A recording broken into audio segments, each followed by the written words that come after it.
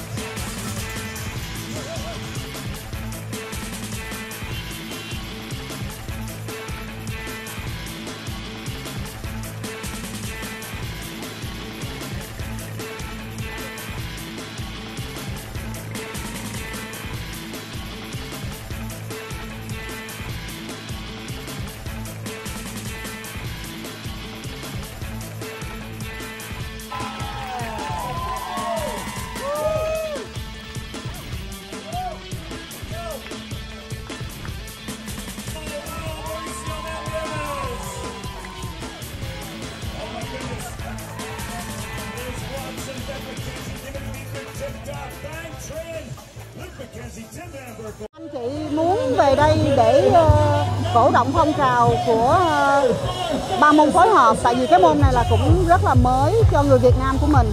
Dạ, và hy vọng là sẽ có nhiều bạn tham gia nữa. Bạn trẻ.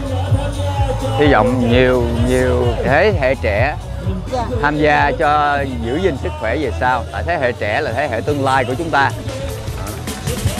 Um, Dạ em thấy cái um, newborn uh, ờ, organization này là uh, để mà giúp những trẻ em sơ sinh uh, giảm tỷ lệ uh, tử vong. Đó là một cái hành động rất là quý báu và uh, tụi em cảm thấy rất là tự tụi chị cảm thấy rất là tự hào và uh, có thể uh, be part of it. Có thể uh, tự hào là được có thể uh, vinh hạnh là được có thể là à, được là một một trong phần tử nhỏ để giúp đỡ cho cái cái nhóm này.